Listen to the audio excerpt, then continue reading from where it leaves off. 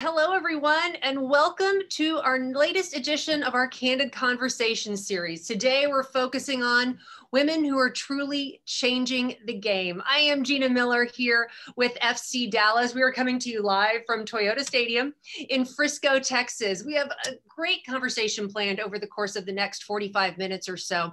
We are really focusing on women during Women's History Month, the month of March, and we're focusing this conversation on game changers in their respective sports and industries. We are so excited to have three remarkable guests with us who are going to share their stories, their insight and their experience. And this is truly an interactive conversation. So please post your questions down below in the comments section. Every single one of our guests is happy to answer your questions and, and share some candor about what life is like in the locker room, on the basketball court, on the pitch, and in the boardroom. So we are so excited to have a very special guest from outside the FC Dallas organization, Vickie Johnson, the head coach of the Dallas Wings. Thanks so much for joining us, Vickie. You're so welcome. We appreciate to see you. And we're also excited to have Megan Miller and Melissa Jannetta from FC Dallas, my colleagues here at FC Dallas joining us as well. Thanks, guys. Thanks for having us, Gina. We Thanks, are Gina. we are streaming live on Facebook. So again, answer your post your questions in the comments section for any of us to address and we will get right to them. So let me introduce our panelists to you a little bit more substantially. Vickie Johnson is entering her first season as the head coach of the Dallas Wings. She joined the Wings from the Las Vegas Aces, a team that went to the playoffs three straight seasons. Prior to the Aces, she was the head coach of the San Antonio Silver Stars after spending seven years as an assistant with the club. She was the 12th overall pick by the New York Liberty and played in the WNBA's inaugural season in 1997 through 2009. She played collegiately at Louisiana Tech, where she was an all two-time All-American and won the NCAA title in 1994. She's also in the Louisiana Tech Hall of Fame. No accolades there at all, Vickie. None. None at all. Megan Miller is the Vice President of Partnership Marketing at FC Dallas and Toyota Stadium. She's entering her 11th season with the club. She and her team oversee all the corporate partner activation for FC Dallas, Toyota Stadium, and North Texas Soccer Club, as well as the National Soccer Hall of Fame.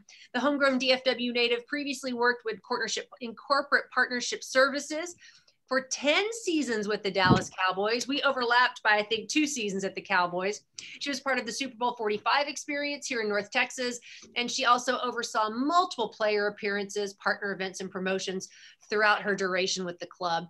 Megan graduated from Texas Women's University with a degree in general studies with concentrations in business and sociology. Lots of mouthful there. At Southern New Hampshire University, she graduated from there with a master's in human resource management. Melissa Jannetta is the Vice President of Business Development for FC Dallas, responsible for leading the club's corporate partnership efforts. In her 12th year with the club, Jannetta and her team are focused on areas such as naming rights, venue entitlement positions, and other sponsorship opportunities across multiple categories. She holds an MBA in leadership from Southern New Hampshire University and a Bachelor of Science in Marketing from Michigan State, where she played four years for the women's soccer team. Great group today, and a great group who's eager to, to truly address some of the elephants in the room to provide some real candid insight on a lifetime in sports. So I get asked this all the time as, as I was a sports broadcaster. You know, there was nobody for me to look up to in the early to mid 90s when I wanted to get into sports broadcasting. And I didn't even think about being a woman in the business. I just, I wanted to be Bob Ortegel, the former Dallas Mavericks play by play guy. I wanted to talk basketball for a living. Um, I'm curious how each of you got started in, in working in sports and deciding that this was a career path that you wanted to pursue. Vickie, I'd love to start with you. Well, uh, I dreamt of uh, playing basketball uh, at Louisiana Tech, uh, where I graduated from. Um, I, I, had no idea I wanted to coach until the end of my career. Uh, I always was a, a player coach uh, on the court. My my teammates always looked up to me, um, but the coaching part I didn't know anything. Um, I didn't know I had the ability to coach uh, because of my patience uh, and because uh, the person I was as a player. Uh, I was very detailed. I, I, I, I, didn't, I couldn't understand um, why players couldn't understand. And so, uh, and so in teaching, uh, when I became a coach um, later in my career, uh, after my 12, my 13 years in the W, um, my first year was very difficult. Um, when I finished playing in the W, I still played uh, two years overseas. Uh, so I still had that play, player mentality. Uh, and I was never a player uh, that needed a coach to tell me to go into the gym to work on my game. And uh, the generation had changed. And so as a, as a, as a player, now starting my uh, coaching career, it was very difficult uh, for me to, uh, to, to truly understand how I could reach my players as a player coach uh, until I spoke to one of my friends. Um, she was on the college level, and I was like, you know, coaching is not for me. Uh, she was like, no, you you're a great coach. Uh, you understand the game. You just have to, you know, take your time and really uh, pay attention to the detail and and not skip uh, steps. So uh, that really changed my life as a coach, and I think that's why I'm, I'm a better coach today so many follow-ups there I want to get to a little bit later in the conversation, but making a career transition and going from player to coach is very, very difficult. We've seen a lot of players who are not great coaches because right. the ability to communicate, the ability to teach, and in essence, right, sure. so hard to do. How were you able to successfully make that transition? Well, it was it was difficult for me because I finished my uh, coaching career. Uh, I mean, my playing career in San Antonio, and that's where I started coaching. Uh, so I was coaching players that I had played with for four or five. Becky Hammon, for example, that's the assistant coach for uh, the Spurs. Uh, I had played with her in New York for seven years, and I played in San Antonio with her uh, for three years. Uh, so it's very difficult. With um, she's one of my dear friends. now I go from playing with her now coaching her. Um, but thank God, um, I, I, I, was a leader on and off the court, and in a sense, uh, where uh, they respected me uh, as a player and as a person. And then the coaching part was pretty easy. Um, I was nervous with her, especially uh, being in front of the group, as far as uh, you know, telling her what to do. And but um, it was it was an easy transition for her because she was a vet uh, she went from calling me VJ to Coach VJ uh, in front of uh, our search, uh, our, our, young team. So uh, she made my transition very easy, but it was very difficult because now I have to, I had to separate myself as a friend, as a teammate to earn that respect as a coach so many things to dive into there, but I want to get to Megan here. And Megan, you started kind of when I started in the sports business when there were not a lot of women in the locker room and or uh, women in sports franchises either. And and we were fortunate to work for the Dallas Cowboys at the time who really, you know, empowered women at a very high level. You know, there were two women in the TV department and that was in a time when there were no women working in more than one market at a time. You know, it was just, it was a very unique time, Megan, working for the Dallas Cowboys when we did. I worked at the TV department with myself and a, a female sports photographer, and you just never saw that in, in local TV newsrooms or newsrooms across America. How did you know that you wanted to start working in sports? And, and, and what was that catalyst for you to get you in the game? I wish I had as good of an answer that I just heard. um, you know, I give some credit to my brother Aaron. Um, you know, he got me into tennis when I was in junior high. And I started um, in tennis before I was even at the Dallas Cowboys. So we played together, played up through high school. And then when I started college, I was given the opportunity to work at a tennis facility. And I thought, do what you love. You hear that all the time.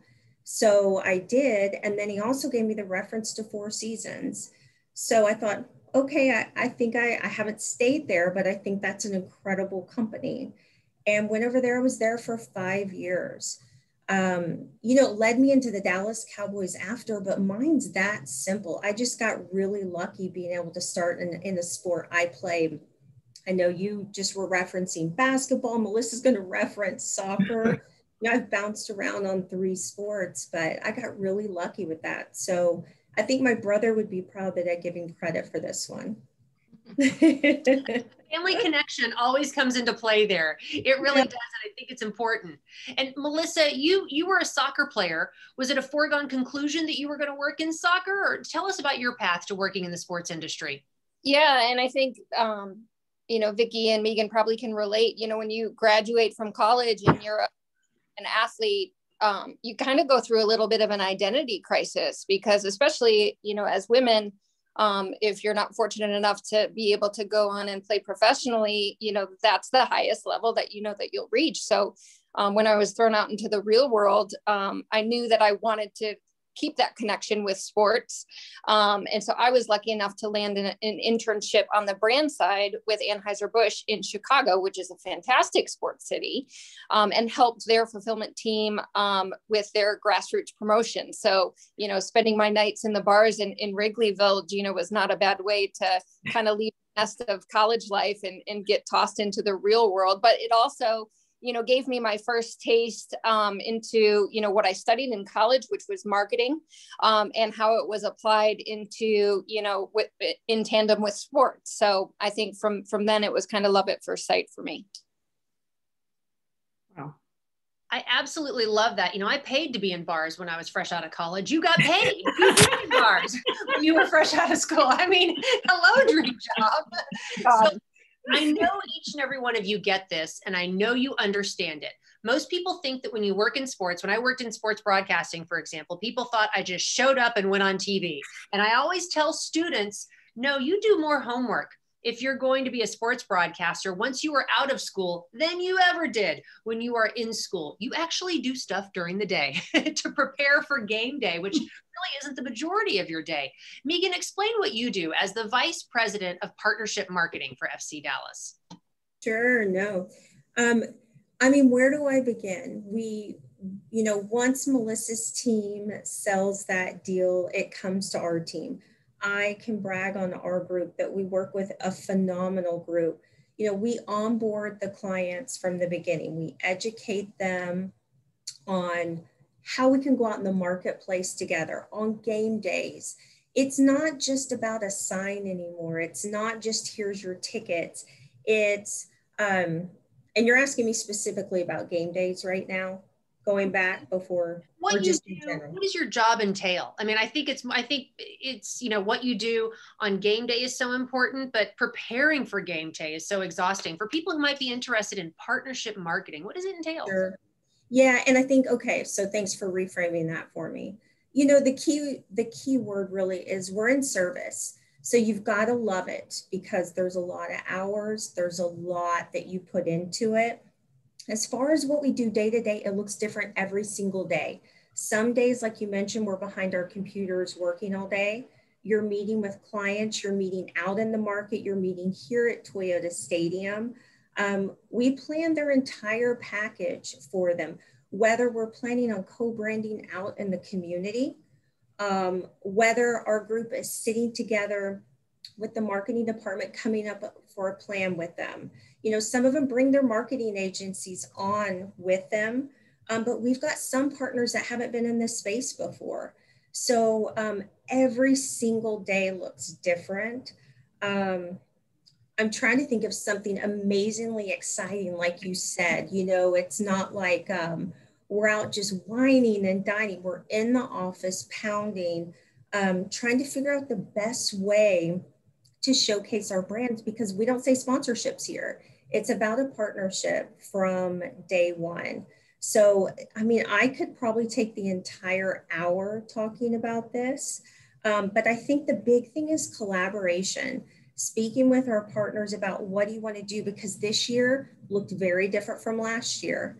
So, the way we pivoted from year to year on their assets, um, is, is something we pretty much have to evolve and do every single year with them. So it's meetings internally and externally. It's the regular computer stuff. And we get to go out and have fun too. I mean, we're here on site. So we go do stadium walkthroughs on beautiful days um, and look at ways we can enhance our partners' visibility on game days. So um, hopefully that's a good answer because I really could probably take the entire time talking about it. I think each of us could because there's so much nuance that goes into what it is you do. And I think Melissa, you know, it takes so long to land a huge partnership deal. We see both you and Megan in front of the MTX jerseys. MTX was just introduced as FC Dallas's new front of jersey partner, a hero partnership uh, this year, which is exciting news. But these deals take time and effort and and and relationship development. Can you describe what it is that is involved with being a vice president of business development? Yeah, yeah. So um, leading the team that um, you know they're really looking for partners that brand alliances, if you will. So partners that are looking to move their brand forward, reach a different audience than the general sports fan in America, a younger audience, a digitally native audience. So there's a lot of research and analytics that goes on first prior to even reaching out to the brand to see if they'd be interested in talking to us about a partnership. Um, so it is a, a, lot of research, a lot of uncomfortable cold calls, if you will, to people that may have never heard of um, of you before or have um, you know aren't very savvy in the soccer space in the country or major league soccer um, and so as megan mentioned you know once we get to the point where we find somebody that is a good match or brand alliance with us uh, we build the platform um, kind of the foundation or the blueprint of the partnership before we pass it on to megan and her team to really fulfill and, and make the magic happen if you will so and, and, i think there's such an appreciation internally for for the for the effort that your team puts in but externally i think it's so worth highlighting because it's not all wining and dining and taking pictures holding up jerseys at all at all. And i think it's very very similarly on the coaching side, Vickie. I mean, you know, it's not just showing up on game day. And all of us work in sports. We know coaches usually arrive before the sun comes up and leave after the sun sets. Uh, we see we've seen this a lot over the years. But can you describe what life is like for you on a daily basis outside of game day? Um, it's a lot of preparation. Uh, it's a lot of uh, film uh, watching. Uh, it's the NCAA tournaments uh, right now. Uh, so, for example, I started my day watching games at one o'clock, uh, basketball games on TV, uh, trying to uh, figure out who we who we're going to take at one to uh, five, seven, and, and thirteen. Um, so that's a little piece of it, um, and also my nine players that's overseas, making sure they're okay. Um, um, making sure I connect with them. Being a new head coach here in Dallas uh, is very important for me to understand them as uh, as as as individuals first before I even involve the basketball part of it, and then uh, my coaching staff. Uh, I have three coaches uh, that I'm responsible for trying to uh, meet with them every day for two hours, going over strategy, helping them uh, understand our league. Uh, and then uh, we haven't even discussed uh, our team, you know, and what what what what's our goals, uh, what's our expectation, expectations, um, what um, the, each each individual roles, and then interviews as well for myself, you know, doing interviews and stuff, um, connecting with the community. Um, bring the awareness uh, to Dallas uh, that uh, there there is a professional uh, women's basketball league here, and uh, we're expecting great things. Uh, so really, just getting out, um, really explaining my vision, my purpose, and my goal for this team, and, and, building a winning franchise.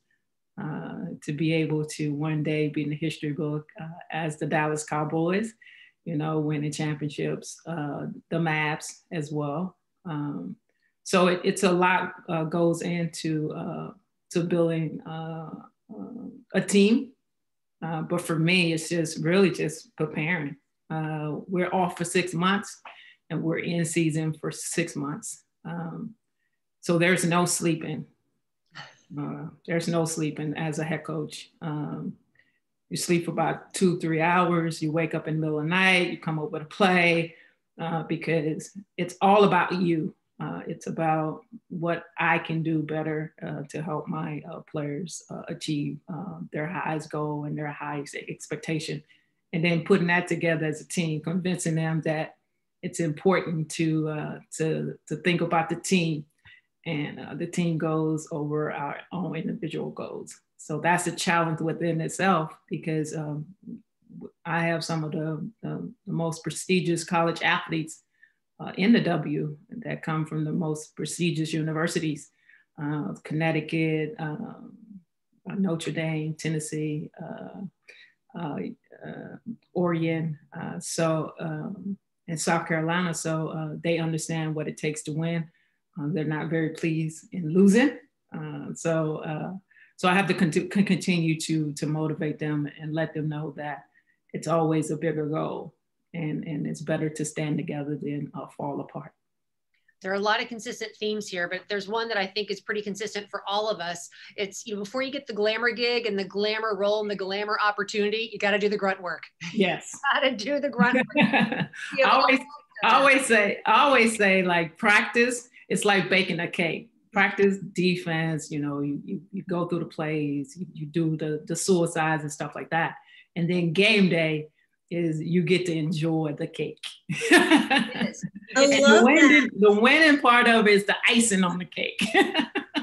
it's so true. It's yeah. so true. And what's what's also consistent here is that each of you have had so much career success and and let's be real candid not everyone who sets out on an ambitious competitive career path which is the career paths each of us have chosen not everyone who sets out on an ambitious competitive career path will achieve that type of success. So I'd like to know what's been critical and what's been crucial and, and important to success in your area of business. And, and Melissa, I'll start with you. You just closed, we just mentioned this one of the biggest, if not the biggest hero deal in FC Dallas history, or one of them. You know, that front of jersey partnership is something that is seen every time FC Dallas takes the field, travels, practices, trains, talks, you know, does everything, eats, because um, eating is a big part of what we do here. um, it, it, it was a big deal, but that's just one feather in the cap, if you will. What are some of your keys to success in your area of business? Yeah, I think, you know, and you had to learn this kind of baptism by fire early on in my career is, you know, you're going to get a lot more no's than you get yeses. So, you know, not taking that personally, almost taking it as a, you know, one step closer to getting a yes. Um, so being persistent, not giving up, um, and at the end of the day really believing in and i think this translates outside of the sports industry you know you have to believe in the product that you're selling. Otherwise people are going to see right through you. So um, you know i authentically at the end of the day love what i do and love um, the club and the league that i work in because i feel like you know i'm growing the sport in this country. Um, and so i think that that you know is really important um, when you're faced with those challenges of having to pick yourself up and, and dust yourself off every day. Because i can tell you you know we the the jersey deal that we did we've we pitched it a hundred times before we got you know to that yes and that can be defeated defeating especially when you start that sales cycle two years in advance. And you know this deal um, actually this partnership closed um, at the end of or at the beginning of this year in January. So you can imagine it was two years of no's before we got to the yes. There's, but it makes yes so much sweeter. When it does. It does. The longer the wait, the bigger the reward. And there's so many things there that I tell colleagues, teammates, uh, you know, students that I'm speaking to, be comfortable with no because you're going to hear a lot of no's on the path to getting a couple of yeses and professional persistence. If you want to go into sales, professionally persistent in a nice way has got to be part of your wheelhouse, isn't it? It's it's one of your Absolutely. skills. Sure. Absolutely. It is. It is. And and Vickie, I can imagine in your case as well, whether it comes to recruiting players or or you know, or, you know co- recruiting, coaching, all those things, that professional persistence is so important to you. But you're a Hall of Famer. You won the WNBA's Sportsman Award, Sportsmanship Award. Um, what have been some of your key factors to the success you've had in your career? Well, I think the, the biggest thing is, is, is really defining my why. Why do I do this? Um, and it's not about me, it's about uh, serving uh, other people um, I'm not, I have never been one to seek um, the attention, the spotlight. Um, I'm always, I always been that helper. Uh, so that's why uh, I coach. Uh, that's why I play. Um, but but coaching part of it, uh, understanding my why um, is the most important thing I think in life. You know, in anything you do, you have to understand your why. And once you understand your why, you'll find your passion, and you'll be able to do it for free. You know, uh, you don't have to get paid. You know, and uh, and you, you don't really look at the time because time just flies uh, because you're actually having fun in what you do. Uh, and I think uh, another thing is is you have to have confidence in yourself. Uh, if, if you're a leader and, you're trying to start something or you're trying to sell something, uh, you have to be able to uh, to believe in what you're selling. And, and, and I think that's the most important thing for me as a head coach. I believe in this league. I believe in my players. I believe in their ability and then to give them the necessary steps to achieve those goals as individual and as a team. And also, I think um, always be uh, the answer to the problem. You know, being the answer to the problem, you will always be needed in that sense. And it's, it's better to be able to to do multiple things than just to be a scorer or just to be a defender. But if you can do both, or you can rebound, or you can, you know, run, jump, uh, it just add value to you. I think that's the most important thing. That five tool player, if you will, and and and, and I who who you know want to sort of punch their ticket to the corner office, and I say there's so much value in those entry level positions where you do everything. I mean, as a sportscaster starting out, I was a reporter, photographer, editor, producer, anchor. I did everything. I pulled cable.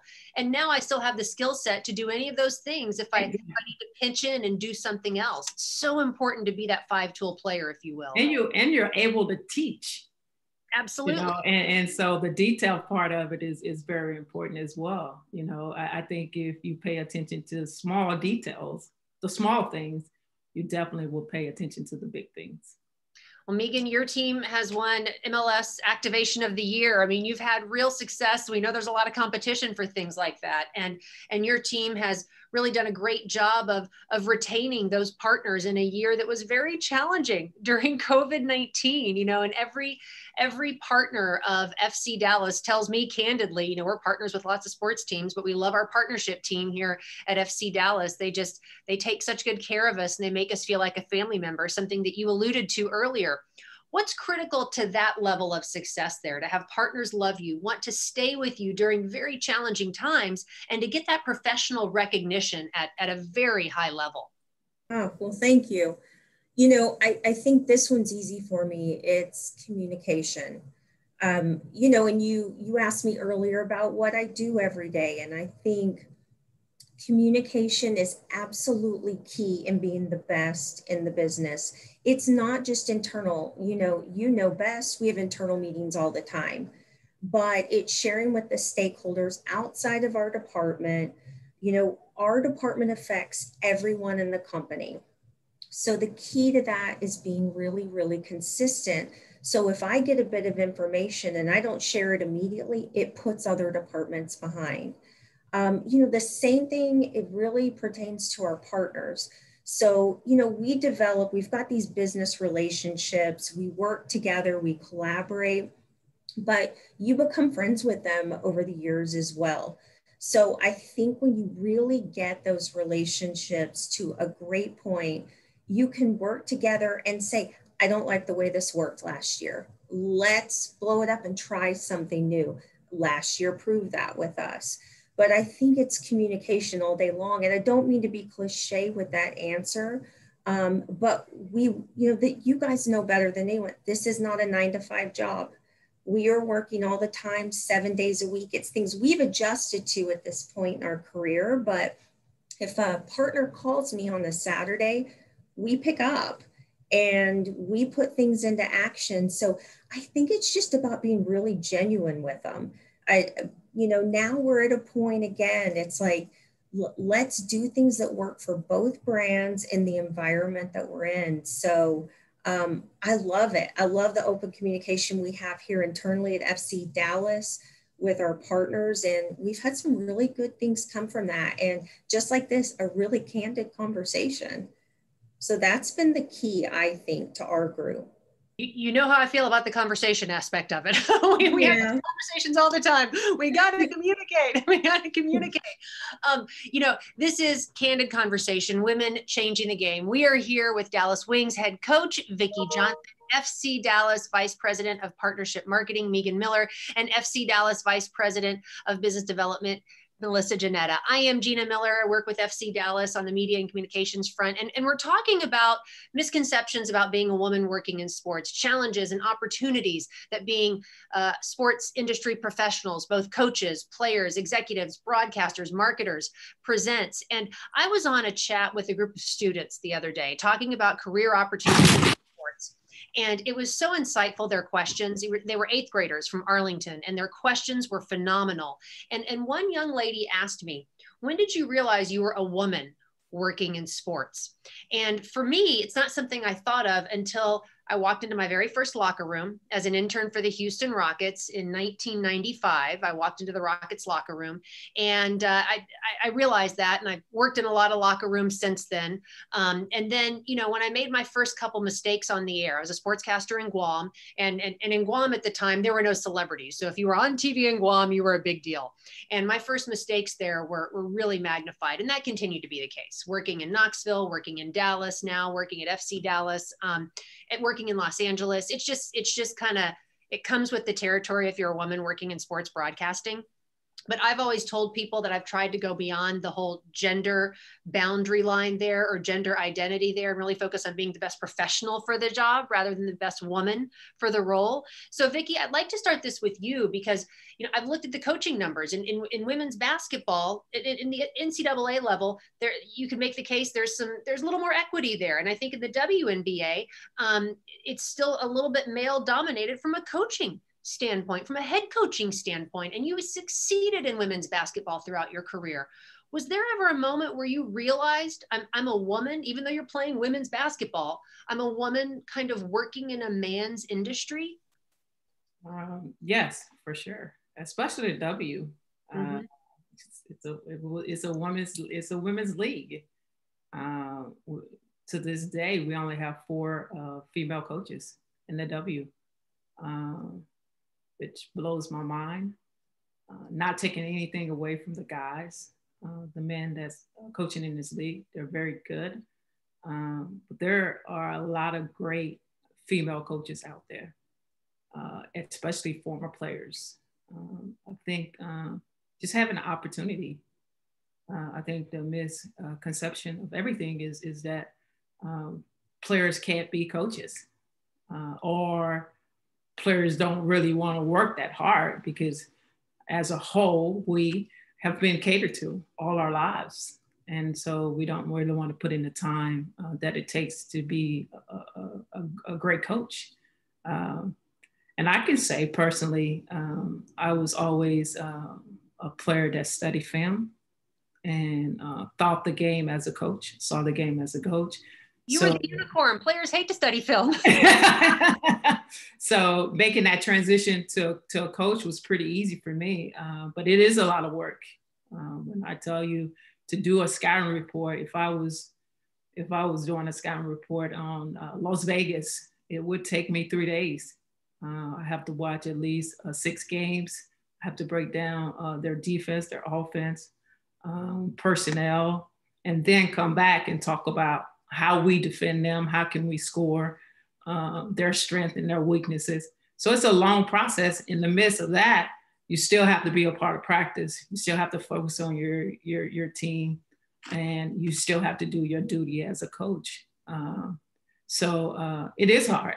It is hard to transition from a player to a, to a, to a coach, uh, but there's a lot of amazing female uh, former athletes and just uh, female uh, coaches out there uh, that can actually uh, can do this job uh, and do, can do it well. I think uh, our league need more women to be role models. we have always stood up um, for for um, social justice for our families, Uh, we are the we are the backbone of our families uh, in in so many ways, um, and I think it's time for uh, the women to uh, kind of take over the WBA in a sense. I don't know will it happen, uh, but uh, it will in time. And what about you? I mean, you and I were at the Cowboys back in the day. Um, again, it was it was a wonderful, wonderful time and wonderful experience at that time. But was there ever a moment where you realized? okay, I kind of am in the minority here as a woman working in the sports industry. And, and was there a challenging response or a way that you had to respond that was that was hard for you? Sure. You know, listen, we all know that they were known as and and could be still the good old boys club over there. And but but I was lucky. I was surrounded by um, male and female executives that were strong in what they did and actually, the majority of my time I reported into um, a female executive. So I got really lucky in that sense. You know, when did I notice, okay, I'm a female in the male industry? The moment I walked in the door. Um, you know, it, it, but things have changed in, in, in 20 years as I'm aging myself here. I think a, a funny story is um, the basic, we did tours all the time back when they were at Valley Ranch. You've got the guys, the players that are in the locker room, they're out at practice. So you have to be very sensitive to the guys that are in, that are in the locker room. You can relate to that. Um, but I wasn't looked at as male or female in that sense. I just took my groups back made sure the locker room was clear and went through um, you know the tour so i think i got lucky um, sure there were a couple instances that were challenging um, where there might be some confrontation and you know something that worked for me at the time is if i was approached at my desk um, by a male executive and and maybe we had something that was we needed to work out I mean, Gina, I would actually just stand up at my desk. I found that it wasn't a power play on my side, it just made me really comfortable. I just stood up like, I'm listening to you. Let's have this conversation and let's figure it out.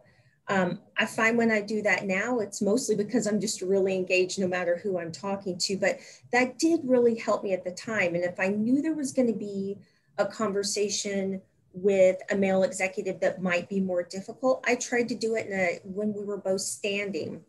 Um, it, it just worked better for me at the time. But yeah, I got lucky to actually work with some really powerful females over there too. So yeah. I agree. It was a great group of, of leadership over there as well. What about you, Melissa? I mean, you you do a lot of sales calls and a lot of sales presentations, and I can only imagine as you've been coming up throughout the course of your career, um, some of the challenges you might have faced. Was there a point though where you really had that moment? You're like, wow, I am kind of the only one in the room here. And how did you respond to that? Yeah, um, I would say, and and trying not to be repetitive because I think I have some of the similar similar realizations as the as all of you on the call. But um, you know, my first year starting in in um, sponsorship sales for FC Dallas was a tough one, and I think I, I was ready to quit because of the challenges we we talked about earlier. And Kathy Carter, who I believe at the time she was the president of soccer marketing was intent. If you can remain on the revenue generating side of the sports industry, you will be a dime a dozen. And at that point, it was like, it, it came, she was giving me advice, but I took it as a challenge. And so, you know, rising to that challenge and really being a student of um, my craft, if you will, in a new industry, um, the pieces just kind of came together. Um, yes, there's been a lot of, of board meetings and, and meetings that I've sat in that I've been the only female in the room. And so that is very obvious to, you know, to realize, but I take that same mentality of being, you know, what a privilege to be a trailblazer uh, for other females and young females that want to come up um, in the same role as I'm in. So um, hopefully that answers your question. And I think that's such a good point. And I think that's why conversations like this are so important because not aging ourselves to make this point, but I think all of us on this call um, have, have been in the business long enough, if you will, where we might have been the first in our markets, in our roles, at a position, at a team. We might have been the first. And we've all kind of been in in that position of wanting to see someone like us or just bounce some ideas to just pick the brain of someone who might be going through the same thing that we're going through. So that's really one of the points of this of this conversation right here this candid conversation about women who really are changing the game. And and hopefully that uh, others can see that there are other people who you can talk to and lean on for insight advice expertise things of that nature. Um, when you think about wanting to excel in this industry and getting into a leadership role um, and we talked about key factors to success. Are there any tactics, Megan, that you would recommend for someone who really wants to dive into a leadership opportunity with a franchise or in that kind of role? Sure. Um, I've believed this since I was young be the hardest worker in the room. Um, whatever it takes. Um, it, it's I'm, I'm trying to think of how I can elaborate really well on this because you've also heard, you know, work smarter, not harder. Um, sure, that's absolutely true, but I will do whatever it takes. So I would say to anyone, um, it does not come easy. So be the be the one that's willing to put in the work but I also look at how many sports management programs there are across the country now. And you think about how many professional teams there are and in this industry. We've got 27 teams in Major League Soccer in 2021. You've got 32 NFL teams. There are rare opportunities in these fields. So I would say network, intern, start young because you know, when we get applications, um, even here at FC Dallas in our department, we can get hundreds of applications in a few days. And that's just if they're coming in at entry level. So you've got to get your foot in the door with these programs and then be willing to put in the work, be willing to be open to ideas um, because we can't be stagnant in how we think. There is so much there I want to dive into. Networking, you're only as strong as your network. Having a growth mindset throughout the course of your career. When I started in broadcasting, the stuff they taught back in the 90s isn't even in existence now. So, growth mindset is so important. I always tell aspiring sports broadcasting media professionals very tactically to start now because with a cell phone, you can be a broadcaster. You can absolutely be a broadcaster and, and cultivate that that skill set there and, and get those uh, repetitions in so that you can become better and stronger. Melissa what advice do you have for someone who wants to excel in sales? And and not just you know we know sales is all encompassing but whether it be ticketing sales or huge sponsorship sales both are equally important to a franchise's success. What's critical to success for someone who wants to get in a leadership role there yeah, so uh, in our role, it's it's pretty straightforward in terms of you're measured by a number. So you have a goal, you have a target. Um, so I would say by all means necessary, you know, hit that target, hit those numbers. Um, and that might mean working weekends, you know, working longer than just nine to five and shutting off your computer and going home. I think Vickie said this earlier make sure that you're you're the solution. So there should be no task that you're too big for. So if you are selling you know during the week but on the weekend you know perhaps gina needs some help in the in the um, press mm-hmm. box media world you know offer yourself up to do that. Um, i think it you know will not only round you out in terms of experience um, but if for some reason you may be falling short of that number you could maybe have a little uh, a little grace given to you because you are such an asset to the organization mm-hmm. Such good advice there being that person who's open and willing to do it be a team team leader and team player. And and ultimately at the end of the day there's a number to focus on. Vickie i know that you're judged on numbers wins and losses at the end of the day. yes I understand that. But for somebody who aspires to be a coach and we know that there are people who may not be successful basketball players who have gone on to become successful basketball coaches or soccer players who've gone on to become successful coaches. Um, what advice do you have for someone who wants to be a successful coach think um, self awareness is very important. Um, know who you are as a person. Um, uh, know what you stand for. You know, um, know who you are as a per- as a person. Know your purpose. Know your vision. Um, do things with intent, uh, not for attention. Um, and, and then um, to be a great leader, I think you have to take action more than just talking about it. You have to be about it. And I think uh, transparency is, is very important as well. Uh, open communication. Um, and in our business, uh, by me being a head coach, um, it's hard for a player to come and, and really voice their opinion uh, because they, they may be afraid of getting cut, uh, not getting playing time. Uh, but the one thing I express uh, to my new team is, is I want open communication and I want honest communication because that's the only way we can grow as, as a team and not only a team, a family.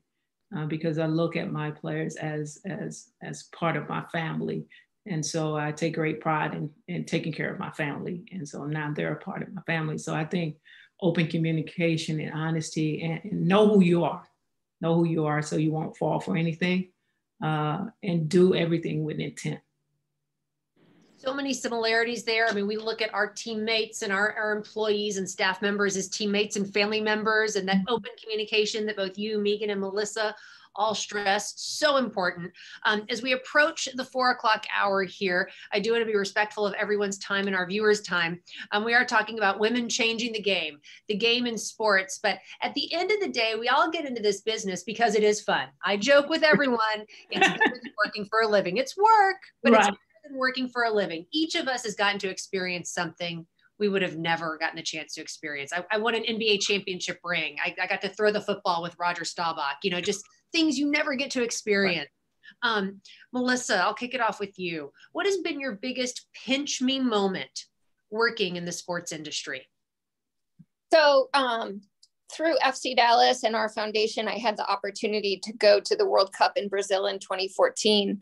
Um, I was able to attend three of the matches in Curitiba in Brazil, which was dream, um, lifetime dream. But I was also able to um, teach soccer clinics in the favelas um, around Curitiba, which was so rewarding. Um, you know, soccer is such a big part of the culture there um, and so to be able to give back and and um, spend time um, with uh, the community there in Brazil while I was there attending the World Cup was just a dream come true.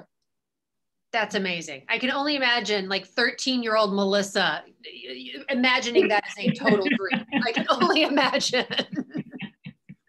Unbelievable. What a moment. Oh my gosh. Vickie, what about you? Uh, I played in the first uh, WNBA game in uh, 97 in, in, in, in LA. Uh, most people would say uh, that would be uh, my pinch you moment. Uh, I played in five finals. I've been to uh, one final as, as an assistant coach. Uh, I won championships overseas. I played 15 years. Um, but my pinch you moment is, is now being the head coach for the Dallas Wings. I've been here, I've been living in Dallas since 2004. Uh, for 25 years, I've been a part of the WNBA uh, I have been packing up, leaving for six months, and now having the opportunity to be home uh, and be able to coach in the place that I live uh, is is a dream come true. It's it's a blessing for me. I understand that. And you, and you bring up something that we didn't even touch on. In the sports industry, you typically move around a lot. And to be able to work in markets in which we love and which we grew up is, is very special. I know Megan is a Dallas native. I'm a Dallas native. You live in Dallas. Melissa's a Dallas native. She's been here more than a decade. So we can claim her, but hometown is, is, is very, very special. Megan, what about you? What was your biggest pinch me moment? Oh my gosh, Gina. there's there's so many I could think about, but I, am I'm, I'm going to tell you one from um, FC Dallas because this is top of my list. It never ever gets old hearing the crowd roar. It doesn't matter how long you're in sports, you get chills. And I think back to 2016 when FC Dallas won the Lamar Hunt US Open Cup. And we were busy with games and events. We had a partner summit and when we won at that moment, it was during the week, and the crowd was just so loud and crazy that night. that the chills from that moment, I will never forget where I was sitting. I will never forget watching that match. So that that would be mine. I mean, you know, there's there's tons through football and I mean, even being here in Dallas, other sports. But that one was incredibly special experiencing that with the Hunt family here for sure.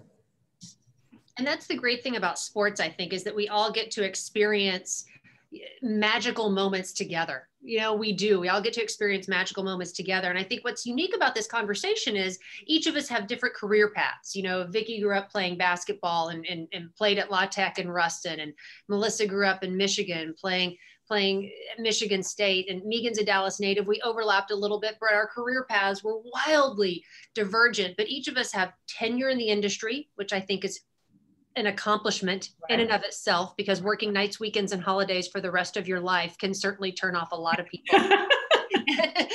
Students don't believe me, but it's true. Nights, weekends, and holidays, rest of your life, um, and and and not just tenure, but but tenure in leadership roles. And I think that's very impressive. So as we close here, um, if you were to describe, you know, what it takes to be a game changer in your particular role, just describe it very quickly what would it take for someone to be a game changer in a role like yours, Vickie?